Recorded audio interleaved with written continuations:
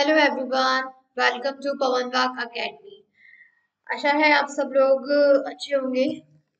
चलिए स्टार्ट करते हैं। As you know class ninth का चैप्टर इंट्रोडक्शन टू बायोटेक्नोलॉजी हम लोग कर रहे थे। और उसका लास्ट पार्ट बचा हुआ है। ऑलमोस्ट पूरा चैप्टर मैंने फिनिश करा दिया है। Animal tissues plant tissues biotechnology के एप्लीकेशंस यूजेस टिश्यू कल्चर करा ही दिया है मैंने और इसमें लास्ट पार्ट आपका जो बचा हुआ है वो है agro complementary occupation agro complementary occupation agro complementary occupation का मतलब होता है आपका कि कोई भी ऐसा बिज़नेस कोई भी ऐसा ऑक्यूपेशन जो आपके एग्रो uh, बेस्ड होता है। एग्रो का मतलब है कि जिसमें आप किसी लिविंग ऑर्गेनिज्म का पालन पोषण करते हैं। Right right? कॉम्प्लीमेंट्री से यहाँ तक ध्यान नहीं देना यानी कि जो आ, हम लोग या फिर कोई भी लोग होते हैं। तो एनिमल्स को वो as a pet domestic animal को वो लोग अपने घर में पालन पोषण न्यूट्रिशन खाना पीना देखभाल सब कुछ करते हैं और उनसे जो उन्हें प्रोडक्ट प्रोवाइड होते हैं देन उसका वो क्या करते हैं एक तरीके से बिज़नेस करते हैं। तो सबसे पहले यहाँ पर आपका स्टार्ट होता है एनिमल हस्बेंड्री एनिमल हस्बेंड्री जिसमें हम लोग काउ ऑक्स गॉट कैमल मतलब जो हमारे कैटल्स होते हैं। कैटल समझते हैं ना कि जो हमें मिल्क या मिल्क प्रोडक्ट्स प्रोवाइड करते हैं। एनिमल हस्बेंड्री में ऐसे ही एनिमल्स को क्या किया जाता है? डोमेस्टिक एज घर पे रखा जाता है तो पाला जाता है पूरा। Visit a modern cowshed nearby and record the following points देखिए, आपके आसपास भी, देखिए आप कितने भी बड़े शहर में क्यों ना रहें। बेंगलोर महाराष्ट्र कहीं पे भी। लेकिन एक विलेज ज़रूर होता है और उस विलेज में या फिर अपने आसपास के एरिया में जाइए, जहाँ पर पूरे बहुत सारी काव वगैरह प्रेजेंट है डिफरेंट वेराइटीज की। कोई एक वेराइटीज की नहीं, बल्कि डिफरेंट वेराइटीज की काव प्रेजेंट है। तो आप वहाँ पर क्या देखेंगे? क्या चीज़ देखेंगे? The number of cattles at least मैं मानती हूँ फिफ्टीन से ट्वेंटी कैटल्स आपको मिल जाएँगी। चाहे कितना भी छोटा एनिमल हस्बेंड्री जगह क्यों ना प्लेस क्यों ना हो। देयर वेराइटी कोई एक वेराइटी की होगी डिफरेंट वेराइटी की होगी, कोई रेड कलर की होगी, कोई व्हाइट कलर की होगी तो different variety total milk production की उनके पास सपोज़ करिए कि अगर 15 काव है डिफरेंट वेराइटीज की तो मिल्क प्रोडक्शन कितना हो रहा है? डेली का। क्लीनिनेस इन कैटल शेड साफ़ सफ़ाई कितनी है? Arrangement for health care of cattle और वहाँ के कैटल्स के लिए हेल्थ अरेंजमेंट कितना है और कितना नहीं है। India animal husbandry is practised for milk production and for using the cattle as help in farming operation India में बात करें तो हम लोग इंडिया में एनिमल हस्बेंड्री हम लोग इसलिए प्रैक्टिस करते हैं ताकि हमें उनसे मिल्क प्रोवाइड हो सके मिल्क या मिल्क के प्रोडक्ट्स फिर वो बाहर मार्केट में जाके उसको सेल करते हैं। इसके अलावा इसका दूसरा यूज़ होता है कि फ़ार्मिंग में। पहले होता था, लेकिन आज के टाइमिंग तो ट्रैक्टर वगैरह मतलब बहुत सारी मशीन आ गई है। तो मशीन का यूज़ करते हैं, इतना नहीं है लेकिन पहले के टाइमिंग पर आपने देखा होगा बैलगाड़ी, और जो ऑक्स होता है, उसके गले से बाँध के वो जो खुदाई करवाते थे पूरी खेत वगैरह की। तो फ़ार्मिंग में पहले यूज़ होते थे, लेकिन अब नहीं है, क्योंकि मेहनत ज़्यादा लगती थी काउ की भी प्लस जो इंसान है, उसकी भी मेहनत ज़्यादा लग रही है। अब तो मशीन आ गई है ट्रैक्टर मशीन से चलाए आप पूरा काम हो जाता है फ़ार्मिंग का। एग्ज़ाम्पल में है cow and buffaloes are raised for milk bull and male buffaloes for pulling the heavy loads cow और बफेलो जो कि मिल्क प्रोडक्शन के लिए रेज्ड की जाती है यूज़ की जाती हैं, यहीं पर हम बुल या फिर मेल बफेलो की बात करें तो हैवी लोड्स के लिए इनको यूज़ किया जाता है। ये तो आपको पता ही है। Local Indian varieties of cows like Sahiwal Indian में काफ़ी लोकल वेराइटीज हैं, जो आपको मोस्टली कहीं पर भी मिल जाएँगी, लेकिन हम उसे पहचान नहीं पाते। शाहीवाल सिंधी गिर लाल खंदारी देवनी खिलारी दांगी एटसेट्रा ये सब इंडियन वेराइटीज हैं काउ की। एग्जॉटिक एग्जॉटिक का मतलब होता है फॉरेन जो बाहर रहती है। ऐसा नहीं है कि बाहर हमारे काउ या बफेलो नहीं है, बाहर भी हमारे काउ बफेलो प्रेजेंट है।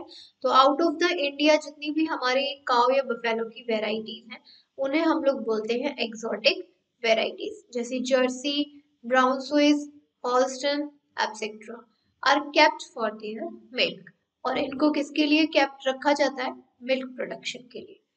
Proper care of cattle is necessary for a clean and high yield of milk इसके अलावा हमें मिल्क और मिल्क की जितनी भी चीज़ें मतलब अच्छे मिल्क के वैरायटी के लिए और उसकी हाई ईल्ड के लिए, ये बहुत ज़रूरी है कि उस कैटल का पूरी तरीके से ध्यान रखा जाए। अगर हम उस कैटल का ध्यान नहीं रखेंगे, उसको खाना टाइम भी नहीं दे रहे हैं या फिर साफ़ सफ़ाई नहीं है तो जो हमें मिल्क मिल रहा है, वो भी ऐसे मिलेगा, खराब सा और कम।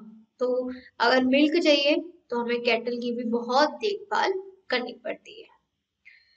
जैसे क्या क्या पॉइंट्स हैं? A balance diet that is which includes all constituents of food, should be given to cattle कहा गया है, जिस तरीके से एक इंसान को, यानी कि ह्यूमन बींग्स को, अपने आप को फिट और हेल्थी रखने के लिए एक बैलेंस डाइट की ज़रूरत पड़ती है। एक ऐसे, ऐसा खाना खाना चाहिए जिससे उसे न्यूट्रिशन प्रोवाइड हो रहे हैं राइट तो same as it is cattle है। माना कि वही वो एक बोल नहीं सकती हमारी तरह डेवलप नहीं है लेकिन है तो एनिमल ही ना।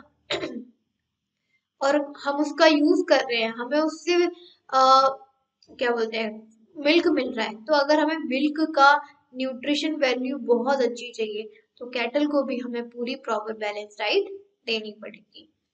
It must be include fibre rich coarse food fodder and sufficient water उसको फाइबर रिच कोर्स यानी कि फ़ूड अच्छा देना चाहिए, ऐसा फ़ूड देना चाहिए जिसमें सारी न्यूट्रिटिव वैल्यू प्रेजेंट हो।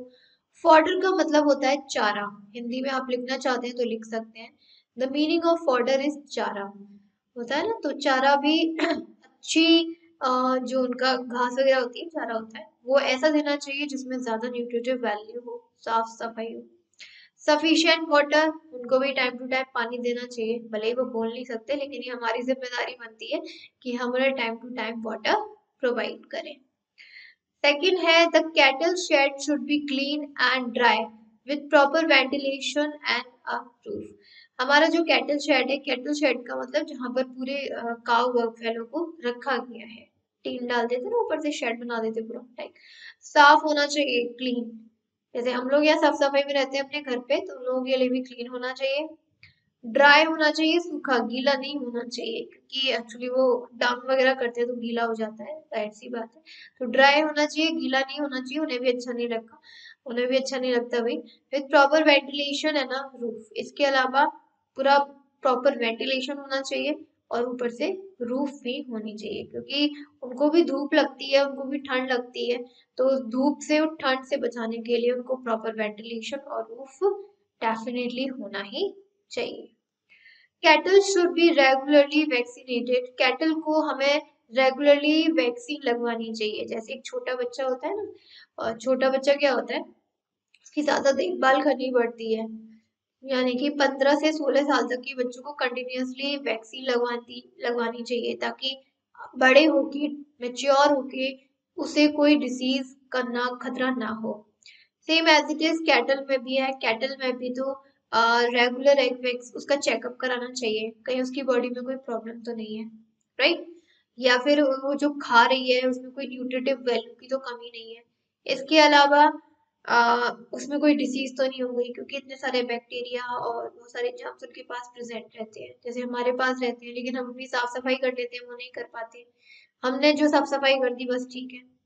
तो कोई डिसीज तो नहीं हो गई है या फिर उसकी बॉडी में कोई प्रॉब्लम तो नहीं चल रही है। तो इसलिए उसका रेगुलर चेकअप करवाना चाहिए। और अगर आपको लग रहा है कि हाँ उसको वैक्सीन की ज़रूरत है तो वैक्सीन भी यानी कि वैक्सीन दवाई वाली नहीं देनी है कि दवाई देनी है उसे किसी चीज़ की, नहीं। वैक्सीन होती है बेटा इम्यूनिटी बढ़ाने के लिए। जैसे ह्यूमन की बॉडी में इम्यूनिटी होती है, किसी भी बैक्टीरिया बैक्टीरियल डिसीज से फाइट करने के लिए same as it is cattle में भी अगर हम कंटिन्यूसली वैक्सीन प्रोवाइड करेंगे इम्यूनिटी की तो कभी चांस नहीं हो सकता कि उस कैटल को कभी कोई बीमारी हो, क्योंकि उसकी इम्यूनिटी अच्छी होगी और जब उसकी इम्यूनिटी अच्छी होगी तो सवाल ही पैदा नहीं होता कि उसके बॉडी में कोई भी डिसीज हो। एक आता है हमारा पोल्ट्री फ़ार्मिंग पोल्ट्री फ़ार्मिंग में ज़्यादातर जो हमारी हैन होती है हैन और डक पोल्ट्री फ़ार्मिंग हम लोग कहते हैं जिसमें जिस ऑर्गेनिज को, जिस ऑर्गेनिज से हमें एग और मीट प्रोवाइड होता है। ऐसे ऑर्गेनिज का पूरी फ़ार्मिंग करना आई मीन टू से उनको पालना, जिससे हमें एग और मीट प्रोवाइड हो रहे हैं। ऐसी फ़ार्मिंग को हम लोग बोलते हैं poultry farming rearing of eggs and meal reeling chickens is called poultry farming यानी कि एग्स और मीट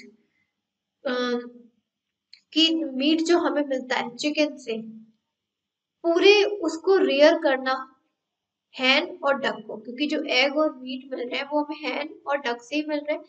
इसी को हम लोग बोलते हैं poultry farming the objective behind development of new hybrid varieties from a cross between Indian varieties like Aseel and exotic varieties like leghorn यहाँ पे देखिए, जो हमारी न्यू हाइब्रिड वेराइटीज हैं क्रॉस से देखिए एक सेकेंड मैं आपको इस चीज़ को थोड़ा सा समझाती हूँ just give me a second देखिए सेकेंड पॉइंट में बोला क्या है इसमें? बोला क्या है the objective behind development of new hybrid देखिए, पहले के टाइमिंग पे क्या थी? पहले के टाइमिंग पर जो हैन आती चली जा रही है, उसी से वो लोग रियर करते थे और पालते वगैरह थे। लेकिन धीरे धीरे धीरे करके इंडियन को चाहिए न्यू वेराइटीज इंडियन को न्यू वेराइटीज चाहिए थी। तो उन्होंने क्या किया कि दो हैन यानी कि एक हैन और आपका दूसरा लिया, दो हैन को लिया और उसके बाद उसमें क्रॉस करवाया। उनके जैसे हमारे ह्यूमंस में होता है ना एक फीमेल और एक मेल को लिया और फिर उसके सेल्स को, जो हमारे रिप्रोडक्टिव सेल्स होते हैं, उसमें क्रॉस करवाते हैं, थोड़ा सा चेंज करते हैं, ताकि न्यू वेराइटीज में हमारे जो बेबीज हैं, वो प्रोड्यूस्ड हो। सेम एज इट इज़ यहाँ पर एनिमल्स में भी करवाया जाता है। एक मेल को लिया जाता है, एक फीमेल को लिया जाता है। और दोनों के रिप्रोडक्टिव सेल्स को क्रॉस कराया जाता है, जिससे हमें एक न्यू इंडियन वेराइटी मिली, जिसका नाम था अशे और एग्जॉटिक वेराइटीज कौन सी थी इसमें? एग्जॉटिक का मतलब जो फॉरनर्स होती है, वो होती है आपकी leghorn to produce good quality chicken in large number अब इनका रीजन क्या था? रीजन क्या था? न्यू हाइब्रिड को प्रोड्यूस करने का। न्यू हाइब्रिड का मतलब होता है कि न्यू वेराइटीज के बेबीज को प्रोड्यूस करना। तो रीजन क्या था? ऑब्जेक्टिव क्या था? ऑब्जेक्टिव ये था कि धीरे धीरे करके लोगों की डिमांड बढ़ती जा रही थी। उन्हें ज़्यादा से ज़्यादा एग चिकन लोग खाने लगे, डिमांड ज़्यादा बढ़ गई और प्रोडक्शन इतना हो नहीं पा रहा था। तो इसीलिए गुड क्वालिटी के चिकन को लार्ज नंबर में प्रोड्यूस करने के लिए ये न्यू वेराइटीज के जो यहाँ पे हमारे चिकन थे, उनको डेवलप करना स्टार्ट किया। And to develop the ability to withstand high temperature इसके अलावा उनमें ऐसे कैरेक्टर्स को ऐड किया गया कि वो किसी भी टेम्परेचर में रह सके। जैसे मैंने आपको टिश्यू कल्चर में बताया था कि जब एक टिश्यू को हमने न्यूट्रिटिव मीडियम में डाला ग्रो करने के लिए तो इस न्यूट्रिटिव मीडियम में काफ़ी डिफरेंट हार्मोन्स और न्यूट्रिशन को ऐड किया। ऐसे हार्मोन्स ऐसे न्यूट्रिशन को ऐड किया जिससे वो जो प्लांट है किसी भी टेम्परेचर में किसी भी प्लेस पर ग्रो हो सके सरवाइव कर सके। तो यहाँ पर भी कुछ ऐसा ही था क्योंकि ज़्यादातर जो हैन वगैरह होती है चिकन्स होते हैं, वो हमारे थोड़ा सा नॉर्मल टेम्परेचर पे सर्वाइव कर पाते हैं हाई टेम्परेचर पे नहीं कर पाते लेकिन जब न्यू हाइब्रिड वेराइटीज में न्यू हाइब्रिड वेराइटीज के चिकन को जब प्रोड्यूस किया गया तो उसमें ऐसी एबिलिटी को ऐड किया गया कि वो हाई टेम्परेचर में रह सके। And to use by products of agriculture poultry feed इसके अलावा जो हमारे एग्रीकल्चर के प्रोडक्ट्स हैं, उसको हम पोल्ट्री फ़ीड में यूज़ कर सकें। यानी कि उनको ऐसी चीज़ खिला सकें जो एग्रीकल्चर से रिलेटेड है। क्योंकि उनको खिलाने के लिए थोड़ा सा बाहर से चीज़ें खरीद के लाना चिकन वगैरह, वो सब चीज़ जो खाते हैं। लेकिन एग्रीकल्चर के प्रोडक्ट्स को इस तरीके से बनाया गया कि वो जो हमारे हैंड वगैरह से चिकन थे वो एग्रीकल्चर के प्रोडक्ट्स को खा सकते इस तरीके से उसमें एबिलिटी डालती एग्ज़ाम्पल दिए हुए हैं यहाँ पर, Rhode Island Red New Hampshire Plymouth Rock Black Rock are the varieties of chicken reared for eggs as well as meat. ये कुछ वेराइटीज दी हुई है, जैसे रॉड आइलैंड हुआ न्यू हेम्सफायर हुआ प्लाईमाउथ रॉक हुआ ब्लैक रॉक हुआ। ये कुछ वेराइटीज हैं जो कि चिकन की है और इनसे हमें बहुत अच्छे एग और मीट प्रोवाइड होते हैं। आपने सुना भी होगा कि जो एग होते हैं वो डिफरेंट टाइप के आते हैं। वो क्यों आते हैं? क्योंकि जब चिकन की वेराइटी डिफरेंट है तो जो एग और जो मीट की वेराइटी होगी, वो भी तो डिफर हो जाएगी राइट ये पूरा आपका था। अब आप लोगों का जो चैप्टर है, वो फिनिश हो गया है और मुझे नहीं लगता कि आप लोगों को कोई प्रॉब्लम होगी। अब इसमें से दो तीन चीज़ें हैं, वो मैं आपको थोड़ा सा बता देती हूँ। एक चीज़ जो मुझे आपको बतानी है वाइट रिवॉल्यूशन अब क्योंकि आपके इस रिवॉल्यूशन से रिलेटेड क्वेश्चन भी पूछा हुआ है आपकी बुक में। वाइट रिवॉल्यूशन सबसे पहले तो हम यही देख लेते हैं वाइट रिवॉल्यूशन किससे रिलेटेड होता है। पता ही होगा मिल्क से right white revolution is related with milk क्या था इसमें? कि जो पहले का टाइमिंग था तो पहले के टाइमिंग पर धीरे धीरे धीरे करके जो कैटल की जो फीडिंग थी, उसको जो चीज़ मिलनी चाहिए, वो चीज़ उसे नहीं मिल पा रही थी। हर जगह पे मिल्क नहीं पहुँच पा रहा था। गाँव में तो पहुँच था लेकिन शहरों में नहीं पहुँच पा रहा था। इसीलिए एक पर्सन थे जिनका नाम था, जिनको फादर ऑफ़ रिवॉल्यूशन भी कहा जाता है। नाम लिख लीजिए आप लोग बैगिसे वर्गिस सॉरी वर्गिसे क्यूरिन। ये पर्सन थे। इनको हम लोग फादर ऑफ़ वाइट रिवॉल्यूशन भी कहते हैं। और इन्होंने इतना डेवलपमेंट किया, इतना डेवलपमेंट किया बायोटेक्नोलॉजी का यूज़ करके कि पहले सिर्फ़ और सिर्फ़ विलेज में मिल्क प्रोवाइड होता था, मिलता था। लेकिन धीरे धीरे धीरे करके उन्होंने हर जगह पर डेयरी खुलवा दी। अब आप देखते हैं, आज के टाइम पे देखिए कि विलेज में मिल्क है राइट लेकिन जहाँ शहरों में मिल्क नहीं है, वहाँ पर भी मिल्क अवेलेबल है। कैसे? बायोटेक्नोलॉजी का यूज़ करके मिल्क में ऐसे ऐसे प्रोडक्ट्स को मतलब आर्टिफिशियल पाउडर से मिल्क बनाते हैं। पता है ना? पहले जो पाउडर को बनाया जाता है, फिर उस पाउडर से मिल्क बना दिया जाता है। क्या है ये? ये बायोटेक्नोलॉजी है और इसमें सबसे बड़ा हाथ हमारा था वैगेसी क्यूरन का। हम, देखिए, ऐसी बात नहीं है कि सारे जो पाउडर मिल्क होते हैं, वो बेकार होते हैं, ऐसी बात नहीं है। अच्छी कंपनी का लीजिए डेफिनेटली उसमें न्यूट्रिटिव वैल्यू भी होती है और बहुत फ़ायदेमंद भी होती है। तो अगर अच्छे कंपनी का और अच्छा खरीदेंगे तो न्यूट्रिटिव वैल्यू वाला मिलेगा। और आप ये कहीं कैसी खुला पैकेट लिया है तो फिर तो बेकार ही। है फिर तो जो आप कहते हो कि गंदा है, फिर तो वो रहेगा ही रहेगा। राइट एक आता है हमारा एपीकल्चर। एक हमारा एपीकल्चर आता है। एपीकल्चर में हम लोग बी की फ़ार्मिंग करते हैं। बी को रियर किया जाता है। मधुमक्खी होती है ना, बी। और ये हमें क्या प्रोवाइड करती है? हनी प्रोवाइड करती है। ये भी हमारे लिए यूजफुल है। ये मत सोचिए कि एपीकल्चर का किस काम का है राइट एपीकल्चर किस काम का है, क्या है? सबसे बड़ी बात है, देखिए, चाहे कोई भी चीज़ है, कोई भी फ़ूड प्रोडक्ट है, वो हमारे लिए यूजफुल है। हम नहीं कह सकते कि हमारे लिए यूजफुल नहीं है। हनी की बात करें तो हनी हमारे कितने सारे फ़ूड प्रोडक्ट्स में यूज़ किया जाता है। करते नहीं करते? ऐसा तो है नहीं कि कोई सिंगल एक जना खा रहा है, नहीं। पूरे all over all over India में बात करें या फिर ऑल ओवर वर्ल्ड में बात करें तो ये जो हनी है, कितने सारे फ़ूड प्रोडक्ट्स में यूज़ किया जाता है?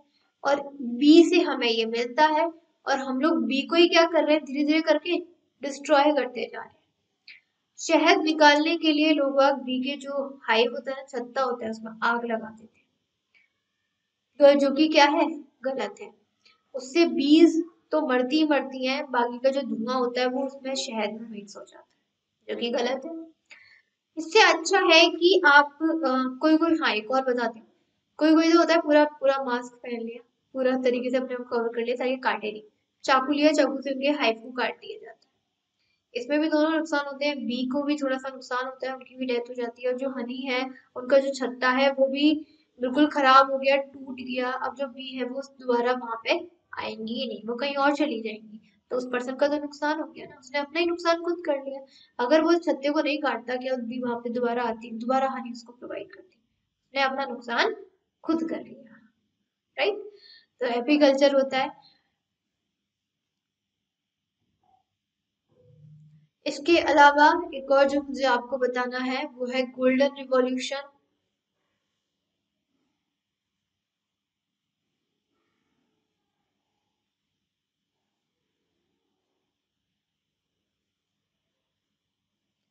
गोल्डन रिवॉल्यूशन जो कि आपके ऑयल से रिलेटेड होता है। Golden revolution is related to oil and specially mustard oil specially mustard सरसों राइट एक होता है आपका ब्लू रिवॉल्यूशन इसमें आपको कुछ लिखने को नहीं आता, बस सिंपल ये पूछ लेंगे किससे रिलेटेड है। तो वो आप याद रखिए।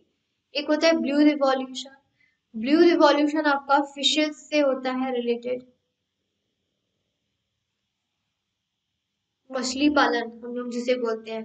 मछली को पाला जाता है, उनसे जो उन्हें बेच दिया जाता है राइट और कोई कोई तो पूरा एक्वेरियम के लिए लेके जाता है। तो एक तरीके से बिज़नेस ही चल रहा है। तो ब्लू रिवॉल्यूशन में आपका फिशेस से आ जाता है। ये इंपॉर्टेंट रिवॉल्यूशन थे जो कभी आपके एग्ज़ाम में पूछ लिए जाते हैं, वो मैंने आपको बता दिया। और इसी के साथ आपका जो चैप्टर है क्लास नाइन्थ का इंट्रोडक्शन टू बायोटेक्नोलॉजी यहीं पर फिनिश होता है और मुझे आशा है आप लोगों को बिल्कुल समझ में आ गया होगा। इजी था, कोई ज़्यादा टफ चैप्टर नहीं था। अब स्टूडेंट्स आप लोगों का सिर्फ़ लास्ट चैप्टर बचा हुआ है क्लास नाइन्थ का, वो है टेलीस्कोप लास्ट चैप्टर टेलीस्कोप बचा हुआ है। बहुत इजी है। टेलीस्कोप में ये समझ लीजिए हम लोग एक तरीके से स्पेस मून प्लैनेट्स कहीं ना कहीं हमारा क्लाउड से रिलेटेड और डिफरेंट साइंटिस्ट से रिलेटेड हम लोग वहाँ पढ़ेंगे कि जिन्होंने फ़र्स्ट टाइम टेलीस्कोप से अर्थ को देखा स्पेस को देखा क्लाउड्स को देखा, इन सब चीज़ों के बारे में हम इसमें पढ़ेंगे। लास्ट में जब हम लोग के सारे चैप्टर फिनिश हो जाएँगे, जो हमारा लास्ट चैप्टर टेलीस्कोप जैसा कि मैंने आपको कहा भी है कि जितने भी मैंने आपको चैप्टर कराए हैं मैं उन सभी के आपको इम्पोर्टेंट चैप्टर्स की वीडियो भी एक बना के दूँगी। लेकिन सबसे पहले उसमें आपको भी थोड़ा देखना पड़ेगा कि भाई आप लोग रिवीजन ज़रूर करते जाइए। काफ़ी स्टूडेंट्स के मैंने कमेंट देखे, उन्होंने कहा कि मैम एनिमल क्लासिफिकेशन में काफ़ी जो प्लांट क्लासिफिकेशन है, उसमें काफ़ी उन्हें दिक्कत है। प्लांट क्लासिफिकेशन की बात करें तो वो वो दिक्कत तभी जा सकती है जब आप रिवाइज करोगे।